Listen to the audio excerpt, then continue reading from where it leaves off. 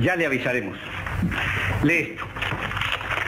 Ella es una actriz que destacó en la época de oro del cine mexicano, participando en grandes producciones con actores y con los directores más importantes de la época. Lamentablemente, por azares del destino, su carrera terminó a temprana edad. Y de eso hablaremos en este video. Un hombre se había peleado por mí. Si no fue por usted, es que a mí me respeta la hembra que traigo. Nelly Tusdelda Iberer, conocida como Nelly Montiel en México y como Nelly Edison en Argentina. Para ella y para cualquier mujer, yo soy mujer. Nació en 1919 en Argentina, en donde dio a luz su carrera y tuvo sus primeras oportunidades cinematográficas. En 1936 empezó con papeles de reparto. La cinta Muchachos de la Ciudad se conoce como su debut oficial en 1937, donde interpretó a Pepita, cinta en la cual también participa el gran Carlitos Dante. Y Plegaria Gaucha, grabada en 1938, completando 8 filmes. A mediados de los años 40 decide probar suerte en México, país que tenía la industria cinematográfica más grande de América Latina, y donde triunfaron sus compatriotas Libertad Lamarque, Marga López, Rosario Granados y Rosita Quintana.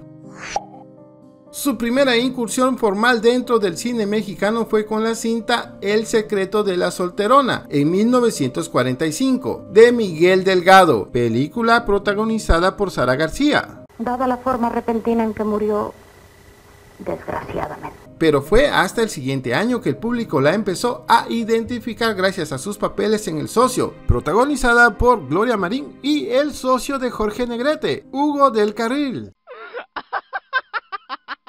dirigida por Roberto Gabaldón, y Campeón sin Corona de Alejandro Galindo.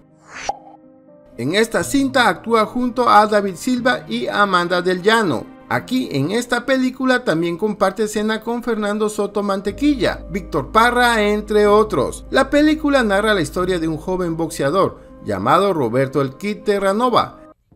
¡Por fin! Espérame, déjame si quiero respirar.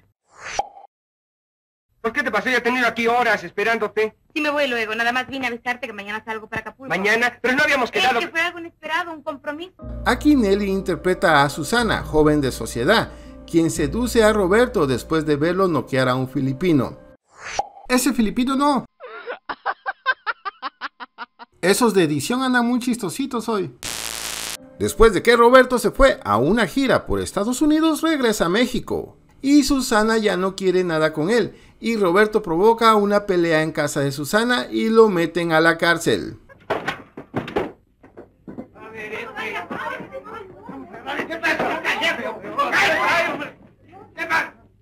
Hijo, ¿qué has hecho?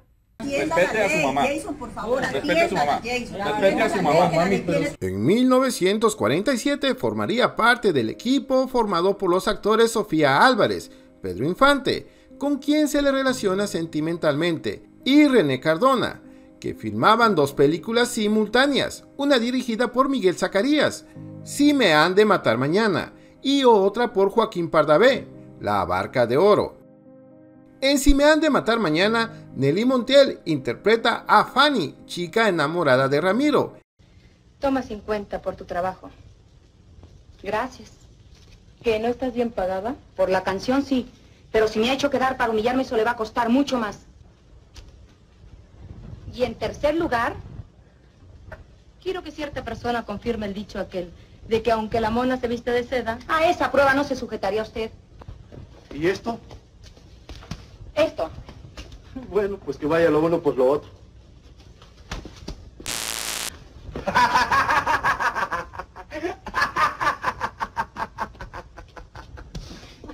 Y se pone de acuerdo con Genovevo Si no fuera por él estaría usted en la cárcel. para separar a la pareja. No ve que ella está enamorada de Ramiro del Campo, que a usted nunca le hará caso. ya que Genovevo pretende a Lupe desde hace tiempo y ha matado a sus anteriores pretendientes.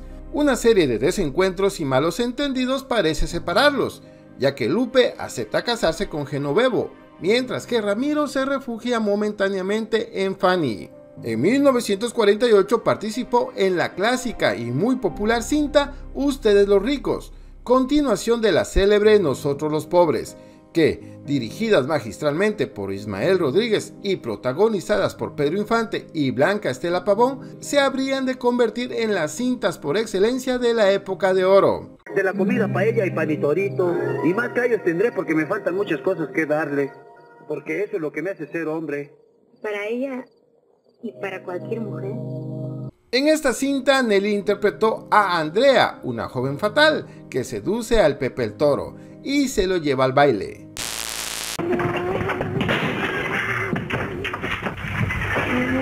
En 1948 repetiría papel de mujer fatal en la película musical Calabacitas Tiernas. Si es que yo no fui. Ah, sí, señor. El culpable fue usted. Le juro que fue mi mala suerte. Yo soy tan inocente como una chavalilla de 15 abriles, señor. Famosa por ser la primera película en que trabajan juntos el cómico Germán Mandel Tintán y Gilberto Martínez Solares, quien se convertiría en su director de cabecera. En Calabacitas Tiernas interpretó a la estrella principal del cabaret, quien junto con su jefe intenta hacer creer a Tintán que él es el empresario. También participó en la única película que el galán de Hollywood, Gilbert Roland, filmó en su país natal, La Rebelión de los Fantasmas, de 1949.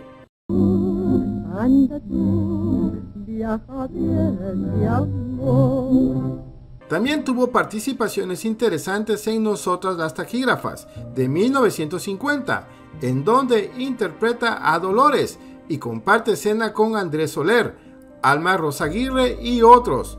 Esta película ha sido criticada ya que transmitía estereotipos negativos sobre las mujeres trabajadoras, como que varias mujeres que trabajaban tenían amoríos con los jefes, que en general eran casados y comprometidos.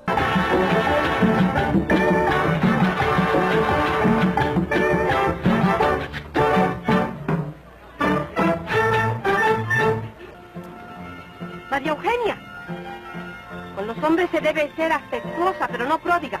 Luego pierden el interés. Y una de sus últimas películas fue Retorno al Quinto Patio de 1951, donde interpretó a Laura. Podemos esperarlo juntos, ¿no cree? ¿Es usted su... Su nada. No tengo nada que ver con él en el terreno que usted iba a suponer.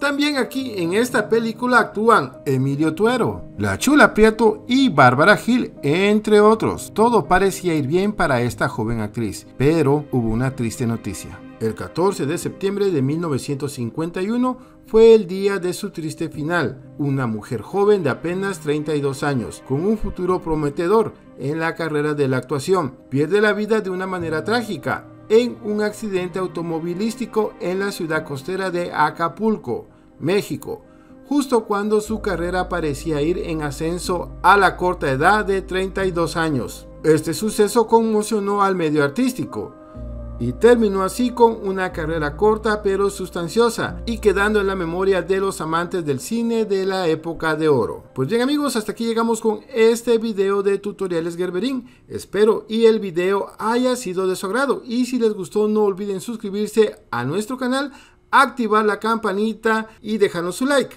Eso nos ayudará a seguir subiendo más y mejor contenido. Hasta la próxima.